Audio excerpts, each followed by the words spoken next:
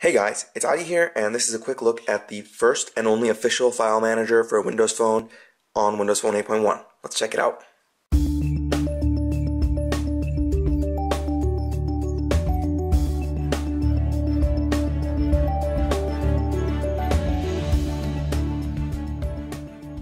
So basically, right when you open the file manager, it'll show up your phone storage availability as well as the SD card if you have one installed.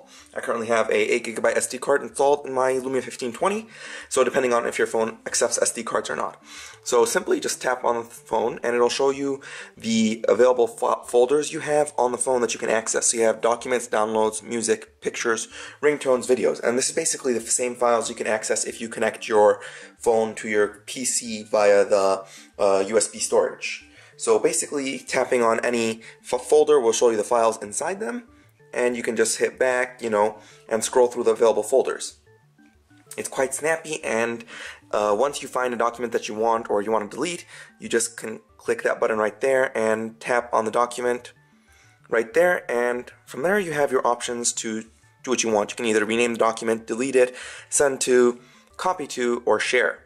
And interestingly, you can finally use this to share music. So if I just uh, select a music file here and hit share, I have the option to share it to Bluetooth, OneDrive, OneNote, and my email accounts as well. So that's really cool. I know a lot of people have been asking for the ability to share music.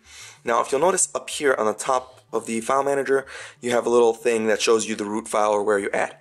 Tapping on anywhere on those will allow you to jump to that section of the file manager, which is really cool. It's like uh, quick navigation, something that's uh, very useful. So while in the file manager, if I select a specific file and head to the setting options, I have the option to copy to, which means I can move it from folder to folder or from area to area. So you can see here I have the copy of the item too. So if I hit the home button over here, you can see I can copy it to the files and I have the option to move it to the SD card as well. So once I hit SD card, I have the option to see where I want to save it. And I want to save this in documents and I just hit copy here and copying the file and it's copied there. So it's a really nice way to manage your documents, find documents that are missing.